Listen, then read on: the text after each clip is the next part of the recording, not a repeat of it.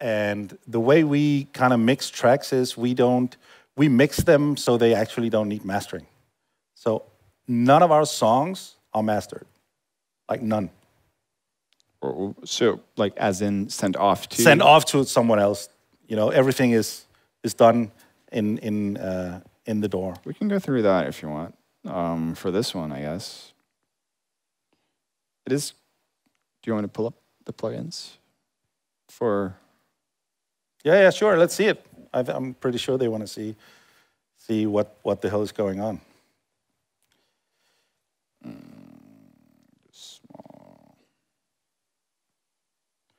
so what I meant that it's it's not being mastered. It's not being mastered by someone else. We try and do everything ourselves. So so we can actually fix the mix easily if something is wrong. If the final track is not working, we can pretty easily render out a new version. This isn't mastered. This isn't mastered. What are you talking about? But but you know it it varies. It's not always all these kind of plugins on. No. All right, I think I'm. This is too much to keep open at once. So I'm just gonna go through them one at a time. If you guys want to see this, basically, uh, again, this is this is kind of a, a terrible track to use as a, a breakdown for you guys because it's been through. Like I don't even like I don't even want to look at this track anymore. Um, there's some compression at the at the beginning, and we will look for the kick and snare being the, the prominent triggers.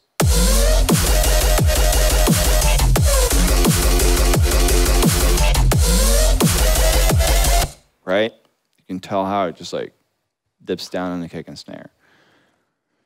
Then, uh, typically, there's some kind of like EQ. Um, I was clearly into PsyQ at the time some kind of boost into highs. You can just always boost the highs, I feel like. EQ fixing, again, just balancing it. I don't know. Super secret cannot, needs to be cut out of the stream, Ashish.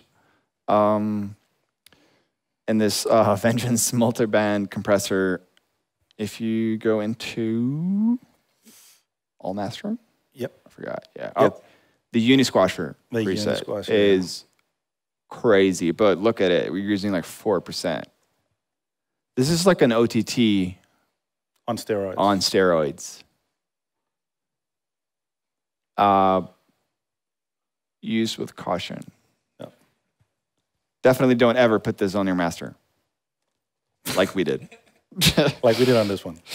Uh, some multi-band compression. I'm not sure that's necessary. Also, another if you want to look into some some great like tips and tricks, like Luca. Pred, I, I can never? Pred, Pretolesi. Yeah, Studio DMI has a bunch of great videos on just anything. Some more exciting, the highs, the mid, eh, like it goes down as uh, you go through the frequency spectrum. What else? the end of it, it's just a clipper, which is in itself a funny little story. Because I never like, really knew about clipping your master until I saw Luca's video on that. Oh. And I was like, no, you're not clipping your master. Stop it. And then I had um, my Fireface R- 800? RME Fireface. RME Fireface 800. And I was like, all right, let's try this. So I took my outputs and I plugged them into my inputs on my interface. And I and through the RME inter, um, software mixer, I gained stuff so that I was clipping my input converters. And I was amazed to find that you could clip up towards 6 dB and it was still okay. Uh, without apparent distortion. Yeah. Right. And I was like, what why are we using limiters? Screw that. That's true. Just Threw them away. Threw Start clipping. And and then we went through what, like three years of trying hardware clipping, software clippers. To me, it doesn't really matter. Lucas swears to the the Lyra. So we have two of those for sale. Yes, we bought the the Lyras We bought the Lyras because he did it, you know, just so to try it. just to try it, and we figured out that damn, standard clip works just For us, it was just well. fine. Yeah, this is like a fifty dollar plug-in. Oh, hello. That's me. Don't touch your microphone. Mike, don't touch your mic. Yeah.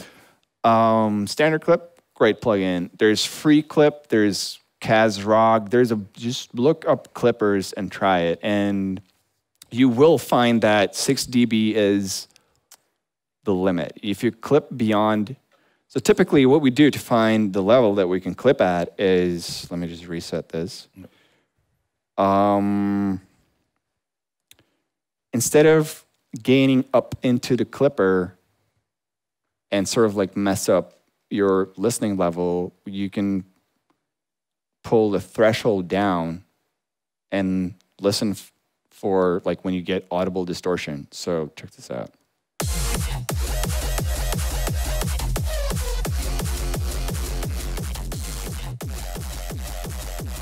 Like it's obviously too much, but